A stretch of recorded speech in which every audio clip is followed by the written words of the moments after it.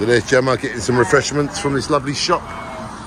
And we're just basically riding around on a bike trying to find pirates and just getting to know the island. It's 160 kilometres, this part of the Bahamas. There's 700 islands in total. And this is just a part around about three miles from the hotel. But now we've got the bike, we can go everywhere. We're just looking for a private beach where we can just have some private time and make the most of life. Gemma's getting some nice juice. Show us what you got, Gem.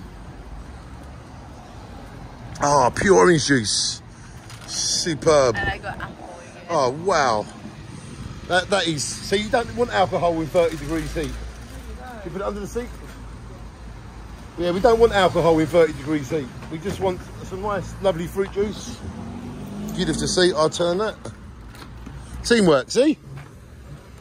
So look, we put all our stuff under the seat. And this is life on the road in the Bahamas. There is life on the road in the Bahamas, and this is it.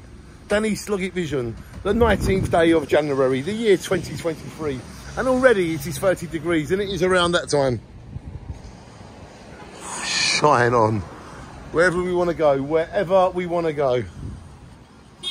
Nice. Lovely shot. Yay, let's go. We're going on the road. Do, do, do, do.